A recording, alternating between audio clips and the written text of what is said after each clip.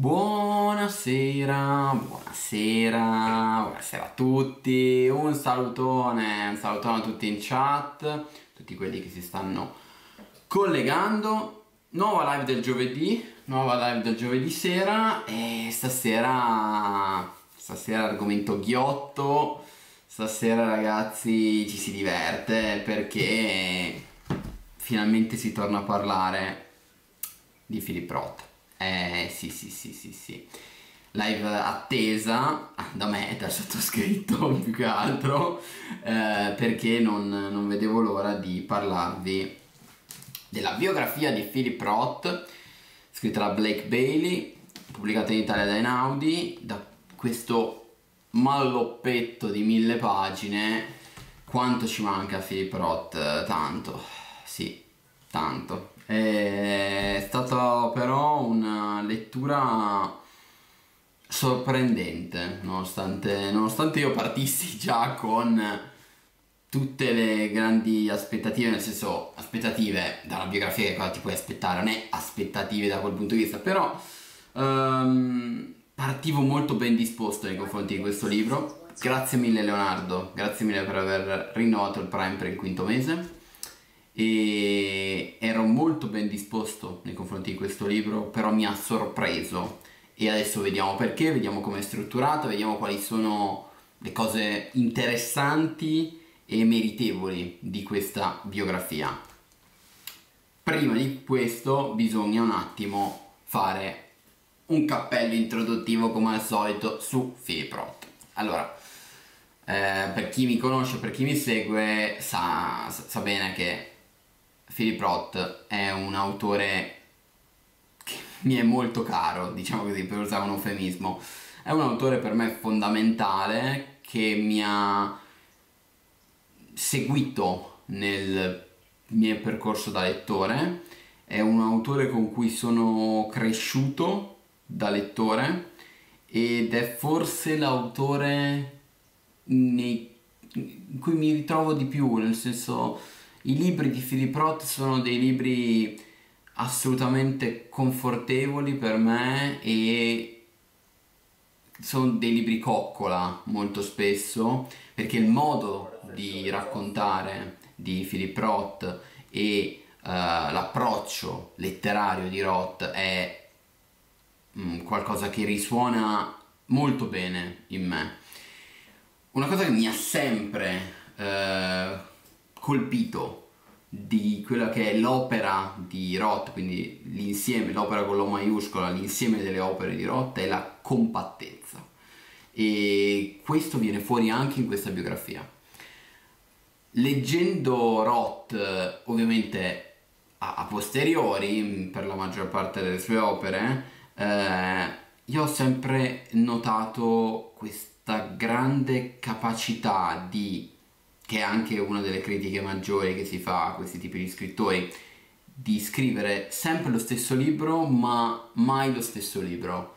Quindi di avere dei temi ricorrenti che diventano anche a volte manieristici. Grazie mille Libri Fiori Viaggi, grazie mille per aver regalato una salva Lisa!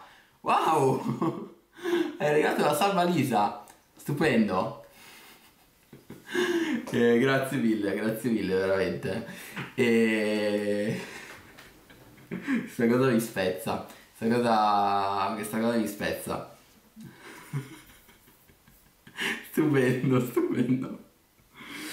E... Allora, riprendo. Uh, di scrivere sempre lo stesso libro ma mai lo stesso libro perché usa sempre gli stessi temi, usa spesso lo stesso punto di vista, usa spesso ma non sempre la stessa tipologia di prosa, ma quello che cambia in realtà è lui, cioè è il, è il Roth autore che sta dietro ai romanzi. Questa cosa secondo me viene fuori come consapevolezza nel leggerlo, un po' leggendo tante opere di Roth, di periodi diversi di Roth, e, ma anche leggendo questa biografia, che ve lo dico subito per eh, a scanso di equivoci, io non consiglio a chi non ha letto almeno un rot per ogni epoca, diciamo così, quindi almeno 3 o 4, secondo me anche 4 o 5, però un, un po' di tutto di Roth. Senza aver letto un po' di opere di Roth, secondo me si perde tanto della fruizione di questo, um, di questo mattoncino. Perché? Allora, Blake Bailey è un um, biografo che mi ha stupito, devo dire. La primissima cosa che mi ha colpito di questa biografia è che è scritta bene. E voi direte, eh vabbè, eh, che, che sarà mai, grazie.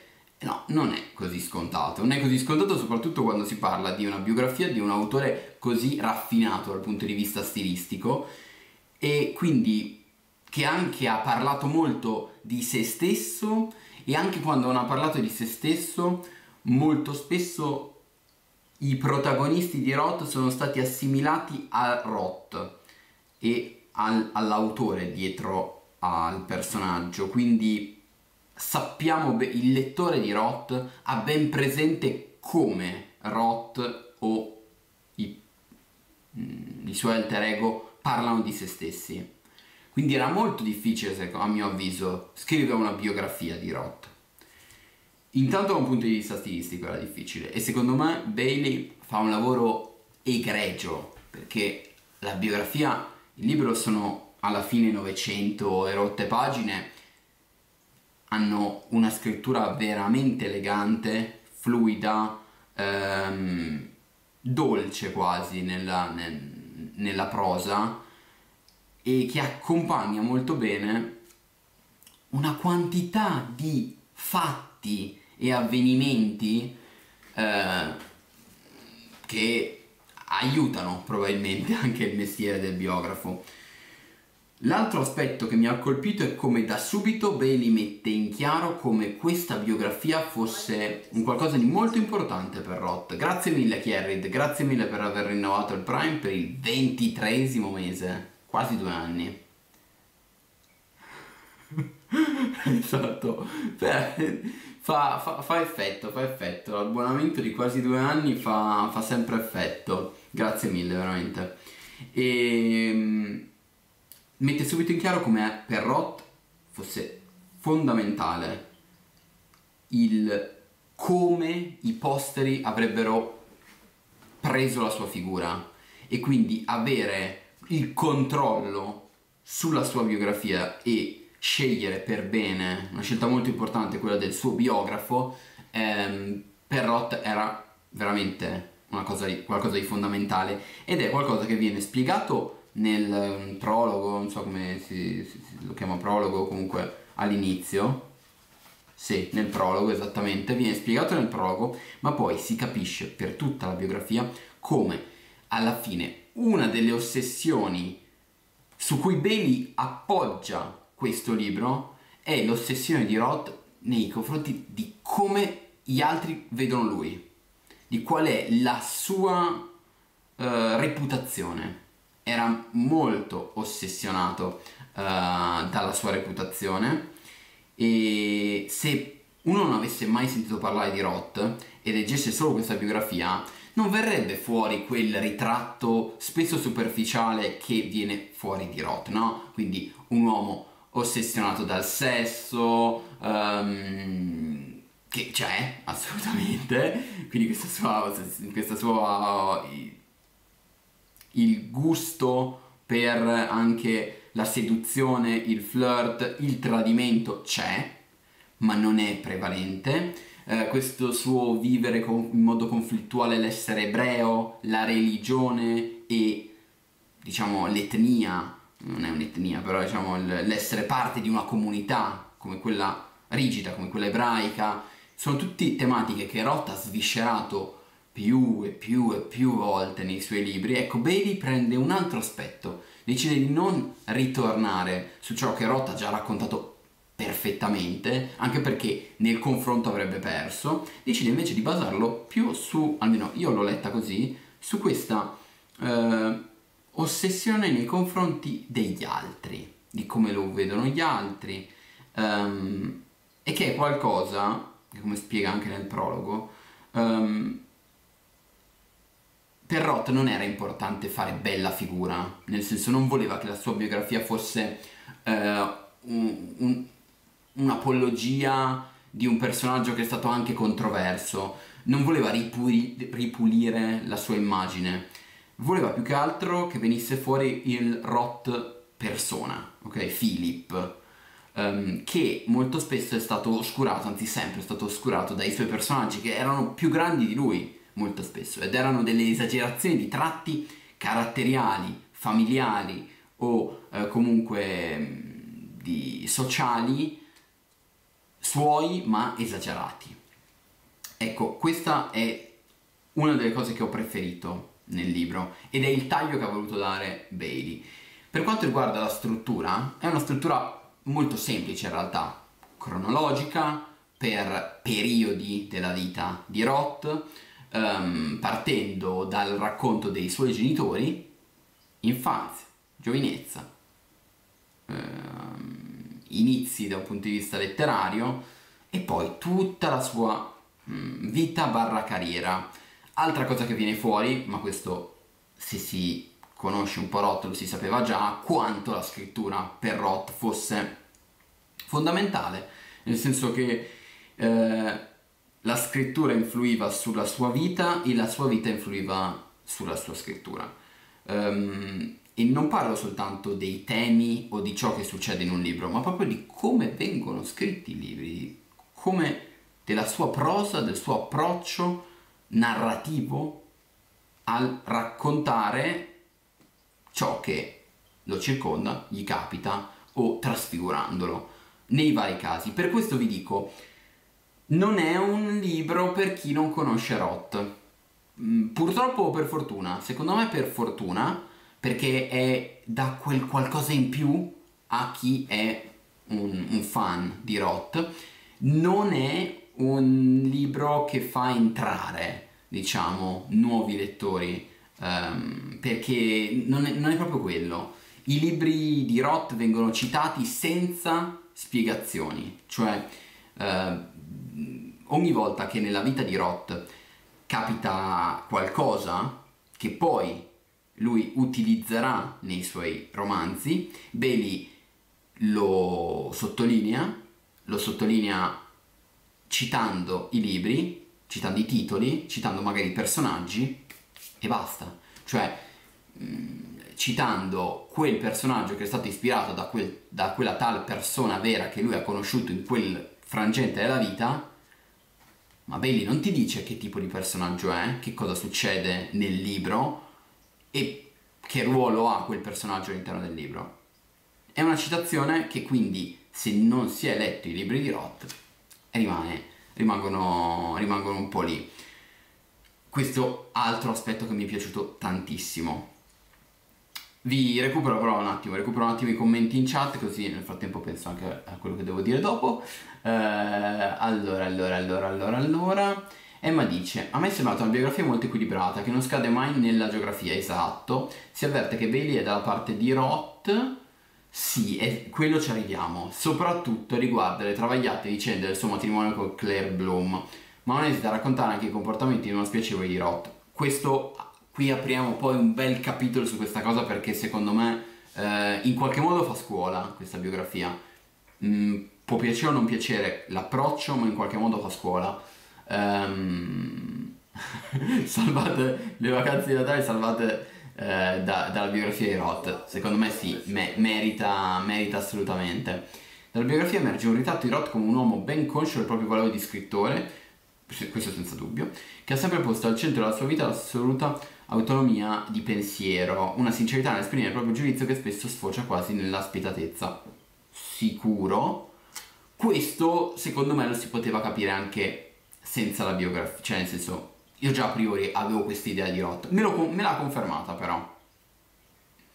Dopo, ne, dopo parliamo degli imprescindibili, ok?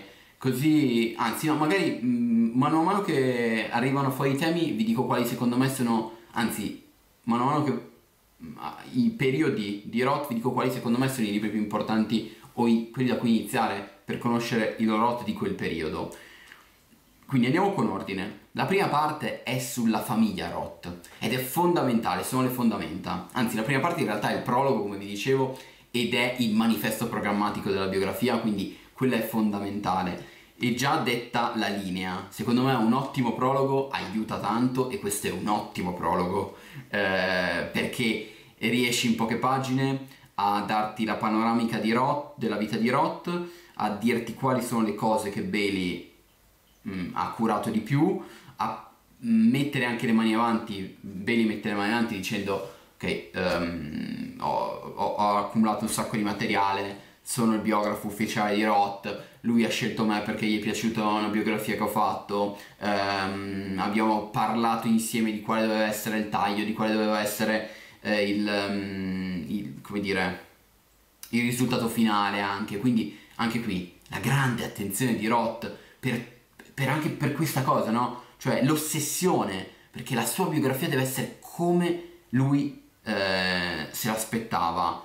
E, ehm, quindi altra cosa che mi ha affascinato tantissimo. Poi prima parte, prima parte eh, la famiglia Roth, i genitori, fondamentali perché? Perché um, ti dà in qualche modo le fondamenta su cui è costruito il mondo di Roth, no? I riferimenti, quelli che sono le figure genitoriali nei libri di Roth, sono ovviamente ispirate ai genitori di Roth, ma comunque alla famiglia uh, di Roth, che gli dà anche la linea per quanto riguarda le, i ruoli sociali, no? I ruoli sociali uomo-donna. Um, importantissimo, importantissima la figura del padre, certo, su cui poi scriverà anche un libro, Patrimonio, eh, che è l'unico libro di non fiction che pubblicherà Roth, e um, è molto importante la figura della madre anche. Nei libri di Roth non appare poi così tanto, cioè nel senso le, le figure materne ci sono molto meno rispetto alle figure paterne, ma le figure femminili sì. E sulla figura femminile anche qui Bailey eh, fa un lavoro molto difficile anche perché parlare è un po' l'elefante nella stanza la rappresentazione femminile nei libri di Roth. E parte da quella che è forse eh, la figura la prima figura femminile quella della madre. E lì secondo me azzecca perfettamente il taglio eh, funziona tanto il modo in cui Bailey racconta i genitori di Roth e ha anche un taglio molto narrativo nella prima parte, molto più che nella parte successive, secondo me. Quindi parte molto bene la biografia. Poi arriva il giovane Philip, arriva um, in maniera organica con il racconto della famiglia, quindi il giovane Philip è ancora molto legato alla famiglia. C'è lo stacco nel momento in cui arriva la scrittura. E qui c'è, secondo me, un, uh, inizia un altro tipo di lavoro di Bailey, ovvero quello di ripercorrere la carriera editoriale, ok, insieme alla vita privata. È difficile tenerle insieme perché sono, sembrano due linee parallele, invece lui le intreccia molto bene. Quindi tutte quelle che sono le figure editoriali che lui incontra, scrittori, editor, agenti, vengono citati, vengono raccontati, vengono descritti in maniera narrativa anche in questo caso. E, ed è un lato secondo me uno dei più affascinanti della biografia. Per me banalmente mm, che mi interessa eh, anche il, um, dire, l'editoria americana molto affascinante l'editoria americana. Poi leggendolo francamente eh, per larghi tratti mi è sembrato quasi un libro di fantascienza guardando l'editoria italiana e confrontandola con quella americana dell'epoca, e sia chiaro, perché mh, mm, ci sono delle parti in cui Roth ehm, dopo eh, molto più avanti nella sua carriera, quando magari alterna romanzi eh, più riusciti e commercialmente da romanzi invece meno riusciti commercialmente, quindi vendono poco e si parla di anticipi di 100-150 mila dollari come vabbè insomma è andata male sto giro ha preso solo 150 mila dollari d'anticipo. Ehm, sì benissimo. All'epoca e soprattutto in un contesto di editoria americana ok sappiamo bene che in altre parti del mondo è un po' diverso. E questa cosa mi ha fatto molto, molto ridere, ma la prima parte eh, della carriera di Roth c'è l'esordio, che io non ho letto, ecco, io non ho letto tutti i libri di Roth, me ne mancano tre, mi mancano i primi due, che sono Lasciare andare e Quando lei era buona, e, anzi no, in realtà l'esordio è Goodbye Columbus che l'ho letto e infatti dobbiamo prima parlare di Goodbye Columbus, però il primo romanzo, Lasciare andare, e um, Quando lei era buona è il secondo romanzo, di questi due mi mancano. Della primissima parte di Roth, io Goodbye Columbus lo consiglio, ma non lo consiglio per iniziare, cioè non, non lo consiglio come primo Roth, secondo me.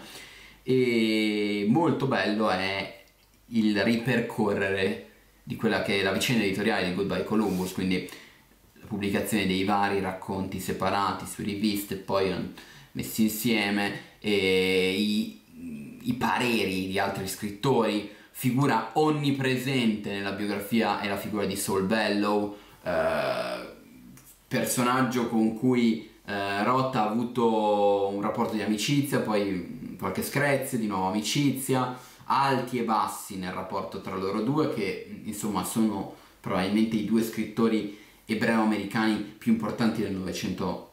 Del Novecento. Um, sì, c'è anche Bernard Malamud, ce ne sono altri per carità, però insomma Roth e Bellow sono due simboli molto forti e Roth inizia la sua carriera in, in maniera folgorante perché lui è il più giovane vincitore di un National Book Award tuttora. Vince il National Book Award a 26 anni con Goodbye Columbus e quindi insomma è, è, un esordio col botto, un esordio con una vittoria con una raccolta di racconti, eh, una vittoria che fa subito saltare mh, mm, agli onori della cronaca il nome di Roth, che è un nome in quel momento ancora, come dire, immacolato, perché sì, in Goodbye Columbus Roth racconta gli ebrei americani, ma non c'è ancora Pornoi, che sarà un turning point fondamentale nella carriera e nella vita di Roth, perché poi viene raccontato tutto il, um, il tutti i, i, primi passi editoriali, molto ben considerati dalla critica, um, e in quel momento viene anche raccontato da Bailey prima, il suo primo matrimonio. Eh, un primo matrimonio che viene raccontato da Bailey, come anticipava prima Emma, in maniera tutt'altro che, come dire, edulcorata, cioè Roth non ci fa una bella figura, per niente. Ehm, come Roth racconta a Bailey della sua prima moglie è uh, duro, ruvido, uh, non, uh, non è una relazione diciamo perfetta, tutt'altro, e soprattutto Roth non è un marito perfetto, non è un uomo perfetto, eh, sia in quello che pensa che in quello che fa, sia in come agisce che in, nelle sue intenzioni. E viene raccontato molto bene da Bailey.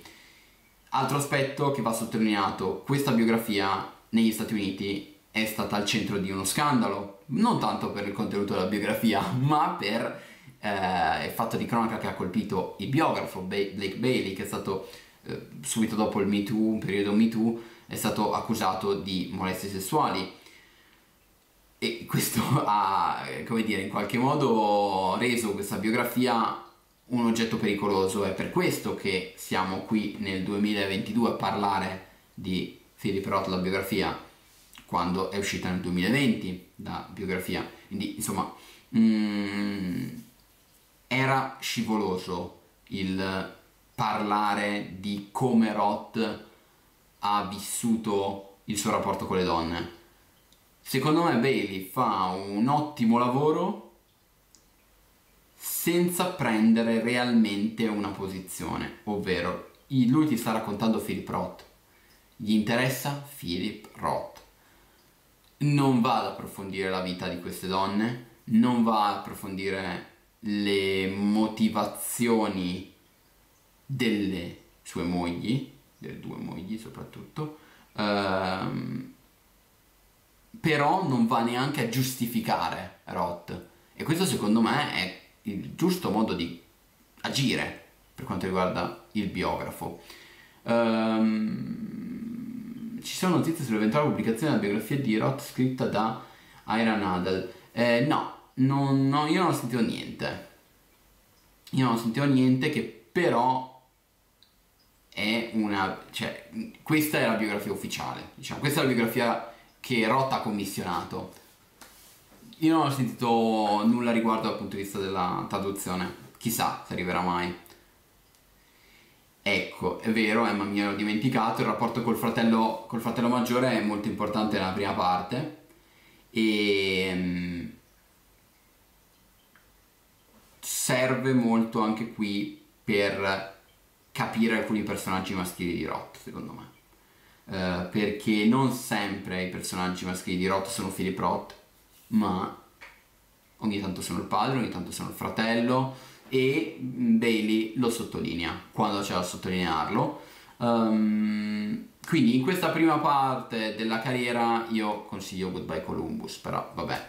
Um, ora, non mi ricordo esattamente se prima di Pornoi esce qualcos'altro, comunque vabbè. Questo poi ne parleremo nella monografia perché mancano tre libri per finire Roth, credo nel 2023 potrà arrivare il video monografico su Filippo Roth e allora lì ci sbizzarriremo.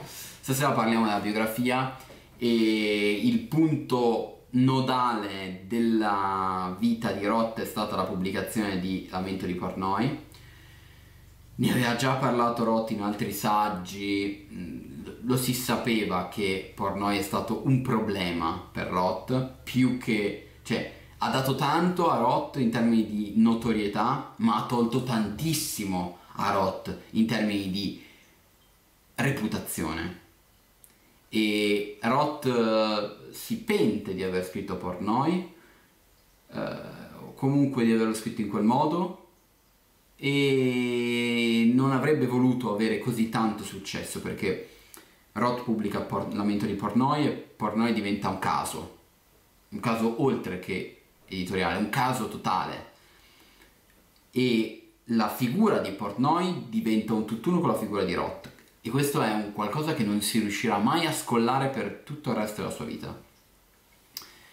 Con Portnoy Roth si inimica tutti, tutti, tutti, sostanzialmente tutti, ma soprattutto gli ebrei, che erano, diciamo, eh, come dire, gli scrittori ebreo-americani hanno sempre basato grande, gran parte del loro successo sul pubblico ebreo e Roth invece no, perde questa cosa eh, e diventa un, un emarginato in qualche modo perché è emarginato dai non ebrei perché è ebreo e dagli ebrei perché ha parlato male degli ebrei e quindi qui inizia il vero problema di Roth, ovvero scrollarsi di dosso Portnoy. E sarà il leitmotiv per almeno 400 pagine eh, di, di, biografia perché ogni volta che uscirà un libro di Roth ci sarà il riferimento a Portnoy, le recensioni parleranno di Portnoy e per lui sarà un'ossessione. Altra cosa che non sapevo ovviamente che questa biografia mi ha detto, a Roth interessava moltissimo quello che scrivevano i critici. Era molto attento alle recensioni, alle sfumature e era uno che se la legava al dito. Uh, se la legava al dito ed era molto attento a chi scriveva cosa, uh, a um, chi parlava bene di un suo libro, in quale aspetto, insomma c'è veramente c'era molta attenzione da parte sua nei confronti del, della critica. Io non me lo sarei aspettato sinceramente perché vedendo quanto, era, quanto è compatta l'opera di Roth, eh, pensavo fosse un qualcosa di molto più io vado avanti per la mia strada indipendentemente da quello che dicono, invece no. invece assolutamente no. Già c'erano stati problemi con mm, quello su Nixon, la nostra gang. La nostra gang? Sì. Sì. Che se non mi ricordo se è uscito prima o dopo. Scusate, non ho sotto mano la. Lo tiro fuori, quasi quasi serve. Visto che serve, mi metto sotto la lista dei libri di Roth, così almeno. Uh, romanzi, eccolo qua. E dopo, dopo Lamento di Pornoi, esce la nostra gang, che esce prima a puntate, se non sbaglio. Esatto. E, e lì attacca duramente Nixon, ma è ancora il Roth di Pornoi per l'opinione pubblica. Quindi quello è un periodo difficilissimo per Roth. Il periodo degli anni fine anni 60, inizio anni 70, perché poi fa uscire il grande romanzo americano, eh, la, mia vita, la, mia vita, di un uomo, che è il primo eh, libro in cui inizia eh, il, um, l'utilizzo di Nathan Zuckerman come pseudonimo, come, no, come alter ego, e quindi quello è un periodo molto complicato, ma è anche il periodo di massima ascesa. E nel frattempo c'è la rottura con la sua prima moglie, quindi periodo della vita molto complicato su cui Bailey sta molto, prende, si prende molto spazio e molto tempo per raccontare questo periodo perché è poi uno dei periodi più importanti della carriera letteraria di Roth e della vita di Roth. Di questo periodo, senza dubbio, va letto Lamento di Pornoi. Cioè, senza aver letto Lamento di Pornoi non si può capire Philip Roth, cioè è difficile capire Philip Roth, cioè capire Philip Roth la biografia, cioè capire la vita di Roth, perché per lui Pornoi è stato una maledizione e la grande celebrazione. La grande celebrazione come vendite, perché in realtà, ricordiamoci, lui ha vinto il National Book Award a 26 anni, con Portnoy non è neanche candidato. E anche lì, interessantissimo come Bailey sottolinea e crea un quadro di quelle che erano le conoscenze di Roth all'interno delle giurie della giuria soprattutto del National Book Award perché per esempio Roth si parla pochissimo di Pulitzer in questo, in questo libro ma si parla tantissimo di National Book Award. Queste sono dinamiche che spesso noi dall'altra parte dell'oceano non sentiamo molto vicine. Cioè in Italia io posso dirvi no guarda quella casa editrice o quell'autore è più vicino allo strega o chi è più vicino al campiello. E spesso, almeno io mh, mm, lo, lo, sento meno dagli Stati Uniti, e invece qui si vede che Roth aveva conoscenze molto più, era molto più legato al National Book Award. Per esempio, invece, era grande amico delle... Sì, no, beh, Nobel, ci arriviamo, eh, ma Nobel è... L'elefante nell'armadio è Nobel e donne. Il Nobel e le donne sono i due elefanti nell'armadio, assolutamente. Di Nobel si parla dal prologo all'epilogo si parla di Nobel. Nobel, altra ossessione di Roth, senza dubbio.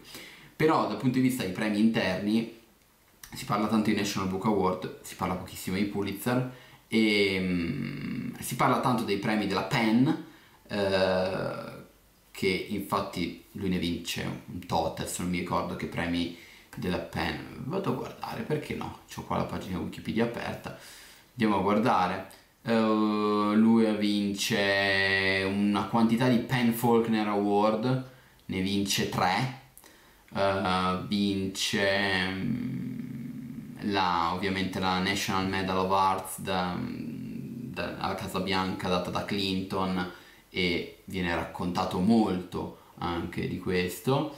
Uh, vince um, il Penn Soul Bellow, il Penn Nabokov ne, ne, vince, ne vince un tot. Vince che il Pulitzer, eh, sia chiaro, però viene raccontato molto meno. Uh, non so per quale motivo. Uh, vince anche Pulitzer con, con Pastore Americano, se non sbaglio. Quindi, di questa prima parte, senza dubbio, va letto per noi. Dopodiché, sì, la mia vita di un uomo, secondo me, va letto magari non come tra i primi, però no, è un grande libro secondo me. Poi il primo di Nathan Zuckerman, quindi sì, assolutamente. Um, altro libro su cui si sofferma molto Bailey è Lo scrittore fantasma, perché è un libro in cui Roth parla tanto di scrittura, parla tanto della figura dello scrittore del mentore e viene approfondito tanto nel libro questa cosa. Um, L'elefante nell'armadio ho detto, vabbè, ok, nella stanza ragazzi, scusatemi, sì, nell'armadio. Beh, in effetti, eh, allora, un elefante in una stanza dipende da quanto è grande una stanza, ma un elefante in un armadio è ancora più ingombrante, eh. Quindi, secondo me, questa ce la dobbiamo rigiocare. Eh, non, è, non è male l'elefante nell'armadio comunque. E dicevo, quindi c'è la prima separazione dalla prima moglie e poi c'è um, Claire Bloom, personaggio fondamentale della vita di Roth, Claire Bloom, nel bene e nel male. Eh, perché? Perché la donna eh, con cui insomma passa molto della, molta della sua vita e soprattutto la parte centrale della sua carriera letteraria. Okay? Quindi quando veramente è Philip Roth ed è uno scrittore sulla bocca di tutti. Uh, viene raccontato molto di Claire Bloom, anche se, come dire, come vi dicevo prima, il punto di vista è sempre rotto. Claire Bloom poi già da subito ci viene detto, ci viene raccontata sempre con il pregiudizio in qualche modo rispetto a quello che poi lei scriverà di Roth, perché Claire Bloom scriverà uh, non mi ricordo come si chiama il, il libro il libro. Vabbè il libro che ha scritto Claire Bloom qualcosa con Doll's House eh, Casa di Bambole um, va bene qualcuno in chat me lo scriva perché non me la ricorderò mai il titolo, ma comunque quello. Living a Doll's House, grazie mille Emma. Uh, scrive questo libro che in Italia non è stato pubblicato se non sbaglio, quindi non è stato pubblicato, che è un memoir in cui racconta la sua vita con Philip Roth e, e ne fa un ritratto lì sì, molto, molto, molto, molto duro. Living uh, a Doll's House è un'altra uh, delle... Cioè, prima Portnoy e poi Living a Doll's House sono i, i, due libri che fanno più male a Roth. E uno l'ha scritto lui, l'altro l'ha scritto probabilmente eh, la donna che ha amato di più nella sua vita. E quindi è anche molto straziante in questo come sia un libro che lui ha scritto che gli, è, gli si è ritorto contro e invece il, il libro di memorie della sua ex moglie che lo ritrae probabilmente per quello che era lo fa sicuramente con grande risentimento. Ecco forse è il risentimento che Roth eh, recrimina di più a Claire Bloom. E questa è una parte molto umana di Roth che viene raccontata. Anche qui non è una giustificazione, non viene giustificato quello che fa Roth, i tradimenti, eh, gli atteggiamenti, non vengono giustificati. Viene però fatto vedere il suo punto di vista, cioè no, no, neanche il suo punto di vista, perché non è una questione di punto di vista, viene fatto vedere come lui reagisce a questa cosa. Con grande semplicità in realtà parte di Bailey, eh, con grande umanità, io l'ho trovato veramente molto ben fatto, era difficile, cioè questo è tutto materiale sensibilissimo e lui l'ha maneggiato bene. Si vede che questo è un libro su cui ha lavorato tanto, eh? però eh, insomma si vede che il risultato è ottimo. Sì, Bloom lo definisce bipolare, Claire Bloom lo definisce bipolare. A lui più che altro mh, mm, dà fastidio quello sicuramente e, e, secondo me è quello, quel modo anche un po' cattivo di parlare del suo ex marito um, è a seguito del risentimento, quindi a, a Claire Bloom non, non perdona il risentimento che poi ha portato questa credine nei suoi confronti. Però, almeno, Bailey non, non giustifica mai Roth. Cioè, leggendo il libro, sei sempre cosciente che dalla parte del torto c'è lui. cioè, nel senso, e lui è dalla parte del torto. Eh, però c'è modo e modo di esserlo, cioè nel senso è dalla parte del torto genuinamente, non so come dire. Quindi questa è la parte centrale del libro, viene dedicata a questa, a questo, a questa loro relazione e um, c'è anche la, sì è vero, la figlia di Claire Bloom, verissimo. Ecco, questo mi fa mi ricorda un altro maschio, bianco, etero, cis, ebreo, americano che viene citato più e più volte nel libro e questo mi ha sorpreso tantissimo nella posizione che Roth aveva nei suoi confronti e che è Woody Allen. Ecco, io non sapevo che Philip Roth odiava Woody Allen e questa è per me è stata una grande sorpresa. Mm, non solo, Roth, veniamo a sapere da questo libro, io vengo a saperlo, questo libro non lo sapevo, era dalla parte di Mia Farrow nella... Um, esatto, esatto. Ma sorpresa delusione, sorpresa, cioè nel senso non, non, è che mi importa se Roth amava Allen oppure no, se gli stava simpatico, non, non cambia il mio giudizio nei confronti di Allen. E, però sì, mi, mi ha sorpreso, non, non, non, lo sapevo, non lo sapevo. E... Esatto, esatto, esatto, esatto, infatti io non, eh, non, non, non pensavo, ma soprattutto non pensavo che lui fosse la parte di Mia Farrow. Questo mi ha fatto riflettere tantissimo, perché la relazione Roth-Bloom non è paragonabile a quella di Allen Farrow, perché a mio avviso Mia Farrow non è a mio avviso, ok? Mia Farrow ha dei, ha dei problemi, ok? Li aveva e li ha tuttora e Claire Bloom no, ok? Quindi questo, esatto, cioè Mia Farrow non sta bene, quindi non è paragonabile questa cosa, questa è mm, la loro relazione.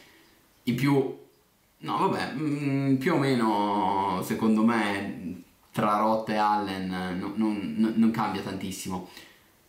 E non, non, pensavo che lui fosse così amico di Mia Farrow, Philip Roth, e che fosse dalla sua parte. Questo mi ha sorpreso tantissimo e mi ha fatto riflettere. Cioè non, non pensavo, non pensavo... Uh, e mi chiedo anche il motivo dietro questa scelta, ma forse Roth veramente, era veramente un personaggio molto più complesso e, e, e, la biografia, nonostante sia di mille pagine, questa cosa affr- l'affronta pochissimo, che era un personaggio molto più complesso di quanto traspaia, tras- sia, sia, uscito, sia fuoriuscito dai, mm, dai suoi libri. Perché i suoi personaggi erano molto più chiari, facili, diretti. Lui non era un, una persona così chiara e mm, soprattutto il ROT della parte centrale, che è anche il ROT, tornando a consigli sparsi di ROT, secondo me è il miglior ROT. Qui si trova il miglior ROT e tutto quello che è dalla la, la controvita, romanzo bellissimo la controvita. Operazione Shylock, romanzo stra sottovalutato di Roth. Teatro di Sabbath, il capolavoro di Philip Roth, senza dubbio. Pastorale americana, cioè quelli sono tutti capolavori. Cioè, non se ne esce, tutti capolavori. Eh, ho sposato un comunista, anche grande libro, La macchia umana, cioè, tutti libri di altissimo livello letterario.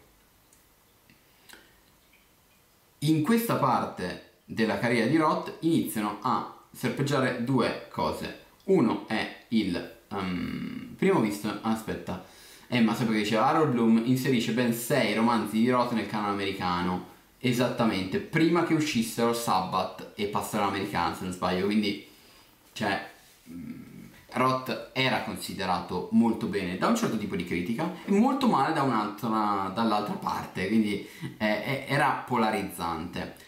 Questa parte della carriera di Roth viene raccontata alternando vita privata, discussioni editoriali, cambio di editori, discussioni sugli anticipi, discussioni sulle trasposizioni cinematografiche, Altra cosa che mi, ha, mi è piaciuta, tanti, piaciuta, non lo so, mi ha sorpreso tantissimo. A Roth non gliene fregava niente delle trasposizioni cinematografiche, della qualità delle trasposizioni cinematografiche. Cioè, era interessato, non so, al cast o a queste cose, però era proprio la trasposizione cinematografica vecchio stile, nel senso che io ti do i diritti del libro, fatene quello che volete. E infatti si vede poi la qualità delle sue trasposizioni cinematografiche Ehm, bellissimo anche il fatto che eh, quando c'è la trasposizione di La, la macchia umana viene scritturata Nicole Kidman e lui per un certo periodo esce con Nicole Kidman, lui era già mm, abbastanza in là con gli anni, eh, quindi anche questo um, altro aspetto uh, del Roth, uh, comunque amante delle donne. Sì, sì, sì, eh, assolutamente mi ha un po' sorpreso questa cosa qua eh, però, però no Roth era un uomo di, di grande fascino evidentemente o comunque con le donne ci sapeva fare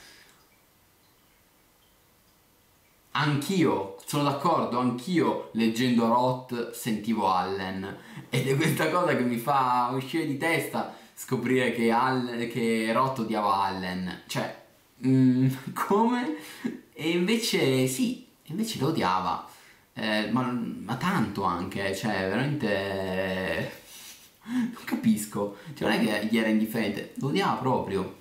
Mm, dubbi, dubbi, assolutamente dubbi. Quindi parte centrale della vita e, e della carriera è soprattutto contraddistinta da Claire Bloom, e Bedi si sofferma tantissimo su cosa dice lei nella, nel suo memoir e cosa pensa Roth, fa scontrare queste due cose, cerca anche di trovare una quadra oggettiva, eh, quindi ottimo lavoro secondo me. Poi, dopodiché c'è la terza parte, di, cioè io, io la carriera di Roth la divido in tre tronconi, da Goodbye Columbus a La mia vita di un uomo, poi c'è la parte dal professore di desiderio fino alla macchia umana e poi c'è la terza parte dal 2000 in poi. il rot senile dal 2000 in poi sono cambia completamente il suo modo di scrivere. Mi è piaciuto come venga raccontato questa cosa perché viene raccontato dal punto di vista della, dello stile narrativo, viene raccontato nella prima parte come Roth passa dai primi romanzi a uh, quello che sono beh, Portnoy o romanzi un po' più sperimentali, viene raccontato molto quello. Poi invece c'è la parte centrale di Roth, sono romanzi più massimalisti, più gonfi, barocchi, e poi c'è uno stacco, cioè dopo la macchia umana Roth ehm, capisce che... no, dopo il complotto contro l'America in realtà, dopo il complotto contro l'America Roth dice basta libri lunghi, basta libri lunghi, il complotto contro l'America è una, un po' una delusione commerciale per lui, non vende tanto, è un, stato un investimento per lui dal punto di vista della scrittura, impiega 3-4 anni a scriverlo e non è mm, performante, non gli viene riconosciuto nulla dal complotto contro l'America, è una, forse è l'ultima delusione di Roth perché poi lui cambia e decide di Boh, basta, questi adesso in poi i miei romanzi sono brevi, devo tirare le fila e qui secondo me scatta in Roth l'idea di chiudere la carriera. Altra cosa geniale di Roth, Roth è uno dei pochi scrittori che ha deciso quale sarebbe stato il suo ultimo libro, cioè nel senso ha detto questo è il mio ultimo libro, poi smetto di scrivere. Non ne conosco altri io francamente. E, um, Every Man il fantasma esce di scena, Indignazione, L'umiliazione e Nemesi sono gli ultimi 5 romanzi di Roth, sono tutti brevi, sostanzialmente brevi, sono tutti romanzi che tirano le fila della sua eh, carriera. Quindi, per conoscere Roth, Portnoy, eh, lo scrittore fantasma, Teatro di Sabbath, ne voglio dire pochi, Teatro di Sabbath, eh, Pastorale americana, eh, La macchia umana, 5, dai che l'anima immorente potrebbe essere nel bene o nel male interessante da leggere, però questi sono i 5 libri per conoscere Roth. Leggisti 5 e ci sei. Um, anche George Martin ha deciso il suo ultimo libro, sì, più o meno. Allora, i quattro romanzi che formano il ciclo delle Nemesi sono davvero deludenti. L'unico che salva è Nemesi. Allora, Nemesi secondo me è un bel romanzo. Um, ho letto recentemente L'umiliazione, che era uno di quelli che mi mancava. Uh, sì, in effetti è deludente l'umiliazione, però um, se non mi ricordo quali sono i ciclo, sono quegli ultimi quattro, perché indignazione non fa parte della Nemesi, uh, credo, non mi ricordo, non mi ricordo, però sì, sostanzialmente non sono dei gran romanzi, però sono come gli Allen minori sono sempre, sono sempre hot, cioè funzionano lo stesso. Indignazione fa parte delle mie nemesi. Dai, indignazione io lo salvo, io lo salvo indignazione, tra, tra quelli del ciclo delle nemesi sì, sì, sì, sì, sì, sì. Per me, per me, un, per me è un sì. La controvita è uno dei miei rot preferiti, eh, però per conoscerlo secondo me si può partire da quei 5, poi è, è tipo il sesto la controvita, è anche Shylock il settimo, però ragazzi parliamo di livello questi, questi sette sono... non si sbaglia in questi sette. Ci metti anche la mia vita di uomo, la mia vita di un uomo, la mia vita di uomo, ehm, otto romanzoni. E la parte finale, diciamo la terza parte, che non sono tre parti, però la parte finale della vita di Rotti invece è contraddistinta, contraddistinta da un'altra donna, Lisa Halliday, Già sentito questo nome? Sì. L'autrice di Asimmetria, che infatti in Asimmetria, nella prima parte di Asimmetria, romanzo secondo me sottovalutato, molto bello, e nella prima parte parla appunto della sua relazione con Philip Roth. Lei era molto più giovane di Roth e mm, era un'aspirante scrittrice. Mi è piaciuto tantissimo il modo in cui Bailey ha raccontato la relazione tra Roth e Halliday perché c'è una dolcezza incredibile nel modo in cui l'ha raccontato, una veramente la non è mai pruriginoso e non è mai uh, scandalistico, anzi molto dolce il modo in cui parla del, del loro modo di, di, stare in, di, stare insieme, di passare del tempo insieme. Um, ed è forse la relazione che è raccontata nella maniera più romantica tra le tre grandi che vengono raccontate in questo libro. E mi ha sorpreso anche qui, perché non pensavo, perché pensavo avrebbe puntato molto sullo scandalistico, avrebbe sottolineato molto il, come dire, poi il come Lisalide ha utilizzato la loro relazione per raccontarla nel suo esordio che ha avuto grande successo, invece viene menzionato, non viene sottolineato, perché Halliday comunque è stata una figura molto positiva e che ha chiuso bene la sua relazione eh, con, con Roth, a differenza di, di Claire Bloom ovviamente. Quindi si parla dell'opinione che Roth aveva di De Lillo, si parla di Libra, sì, si parla... Si, si, si, parla di Libra, non solo, viene sottolineato anche il fatto che De Lillo uno dei, era uno dei... Mm, nel circolo ristretto che è andato al funerale di, di Roth, quindi viene citato anche in quel caso lì, De Lillo, erano... però ecco, non viene raccontato moltissimo della loro relazione, eh. però vengono citate due o tre cose assolutamente... Ehm, c'è, c'è anche De Lillo, lo scrittore più presente qui è Solvello. Cioè, Solvello c'è tantissimo e come è giusto che sia è stato importante per la carriera di Roth, per la vita di Roth e quindi lui è lo scrittore più presente. eh, poi ce ne sono anche altri, ovviamente. Però eh, mi è piaciuto molto insomma, la figura di Lisa Halliday, il ruolo di Lisa Halliday. Nobel, parliamo di Nobel. L'ossessione per il Nobel. L'ossessione per il Nobel, la cattiveria del Nobel, dell'Accademia Nobel, l'idiozia anche della, della, dell'Accademia Nobel. Perché? Perché viene sottolineato più volte che Roth viene, viene segnalato al, a, a, chi di dovere, viene segnalato più volte, uh, sono stati dati esattamente, bello era l'unico a cui Roth accettava di essere stroncato, che poi non è che veniva stroncato, però veniva criticato. Eh, che se Sorbello scriveva qualcosa che non è, non, questo non è, ok, tutti gli altri non ci capivano niente, se, se no, non capisci un cazzo, vabbè, e...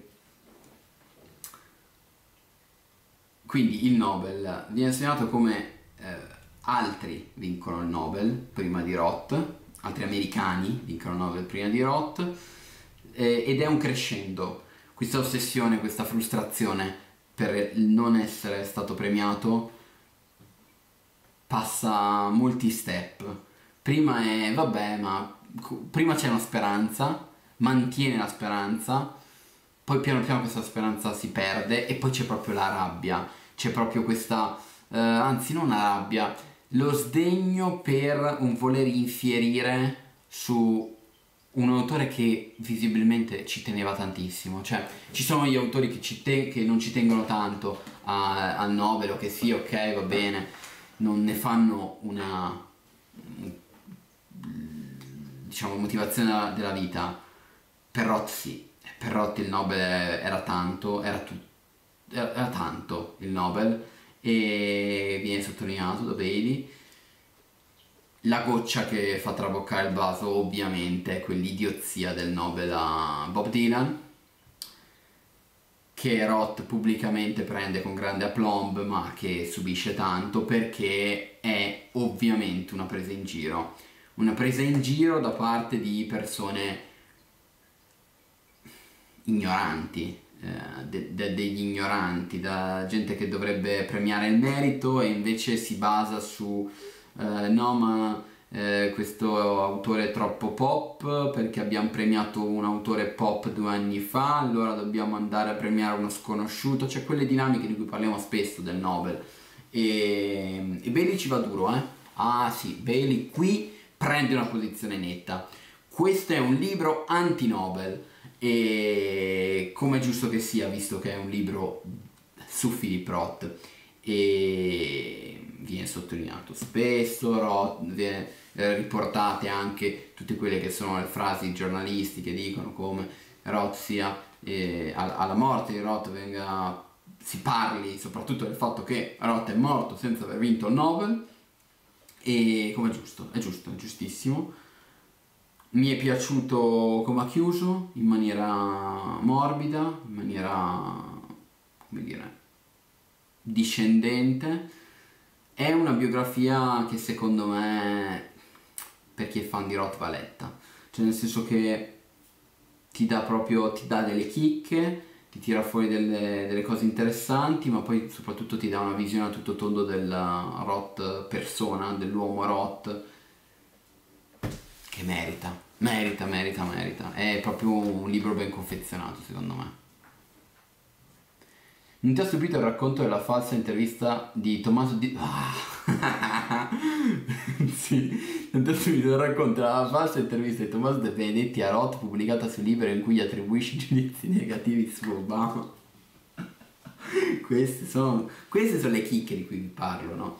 Cioè ci sono delle cose dentro che... Eh, eh sì, quando ho letto ho detto ma cosa sto, cosa sto leggendo?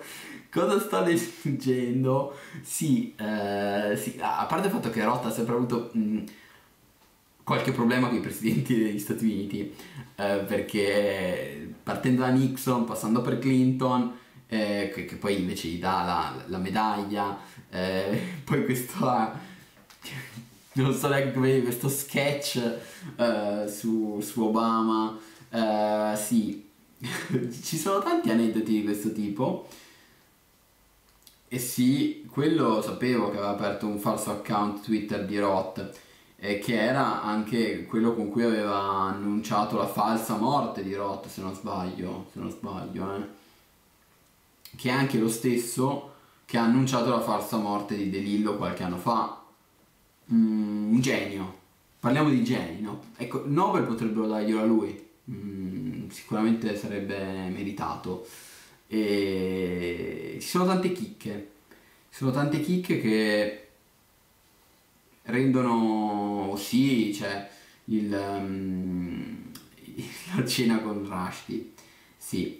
Uh, Rushdie c'è in più punti della biografia. Rushdie, Salman Rushdie c'è in più... Ah, che, aspetta, mia sorella mi ha detto che non si dice Rushdie, ma si dice Rushdie. Salman Rushdie.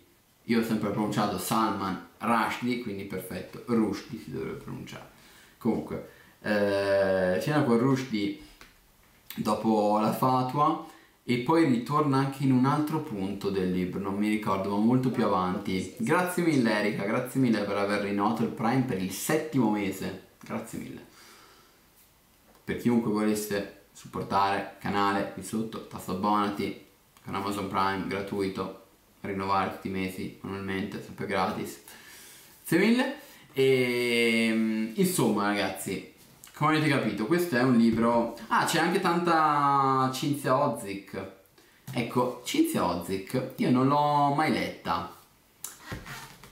E invece potrebbe essere un'autrice interessante. Voi l'avete mai letta? Uh, la pubblica la nave di Teseo, credo, in Italia, se non sbaglio.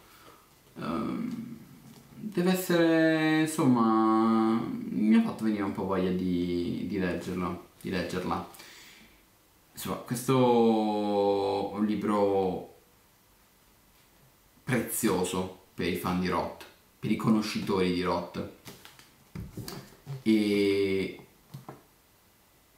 che mi ha fatto tornare la voglia di finire di leggere Roth e come vi dicevo prima mi mancano tre libri di Roth quando ho finito quei tre libri si fa la monografia. Verrà un video infinito? sì. Verrà un, praticamente un lungometraggio. Però dopo quella di Delillo va fatta anche quella di Roth. È il video che più voglio fare da anni. Anni che voglio farlo. Ehm, e questa biografia mi ha spinto a voler eh, completarlo. A volerlo completare ho comprato Lasciare andare e ho comprato Il complotto contro l'America sono due dei tre libri che mi mancano e dopodiché mi manca solo quando lei era buona. No, mi manca anche il grande romanzo americano, 4. Ci metterò un po' di più. Vabbè. E comunque, letti questi 4, poi sono a posto. Oh, beh, beh, beh, sì, ho preso Perturbamento di Bernard e sì, Lisa mi dice che... Vabbè, che Lisa dice che è un capolavoro qualsiasi cosa, ha scritto Bernard giustamente. E... Però devo dire che mi, mi ispira molto Perturbamento, mi è piaciuto tantissimo a colpi d'ascia. Mi era piaciuto anche Stoccombente, ma è molto più bello secondo me a colpi d'ascia. Ah certo, ma Lisa ha sempre ragione, non, su questo non ci sono dubbi. E... Complotto contro l'America è l'edizione vecchia. Eh, ho, ho, preso, ho trovato l'edizione vecchia su, sul libraccio e, devo dire che è un colpaccio perché eh, non si trova, hai ragione, maledetta Naudi. Eh, così almeno ho la continuità. Ho la continuità e sotto quell'angolino lì, dov'è? Eh, quest'angolino qua che è l'angolino rot io li voglio tutti nella stessa edizione. Lasciare andare è rovinato, però vabbè, mh, mm, frega niente che sia rovinato, l'importante è che sia nella stessa edizione.